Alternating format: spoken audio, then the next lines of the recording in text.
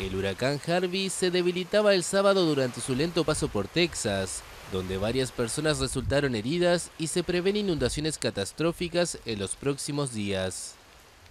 El huracán más poderoso en golpear a Estados Unidos desde 2005 llegó a tierra firme en las últimas horas del viernes, con vientos de hasta 215 km por hora.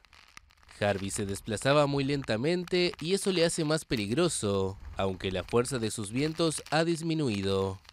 Varios condados recibieron cerca de 25 centímetros de lluvia en 24 horas y se anticipaban hasta 88 centímetros de acumulación hasta el miércoles.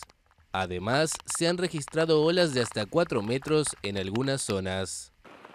Según el Centro Nacional de Huracanes, entre 1963 y 2012, más del 80% de los decesos por este tipo de catástrofes en la costa atlántica han sido por culpa de la subida del nivel del mar, la lluvia o las olas. El presidente Donald Trump firmó el viernes una declaración de catástrofe natural que permite liberar fondos federales para ayudar en la emergencia ante un potencial efecto devastador.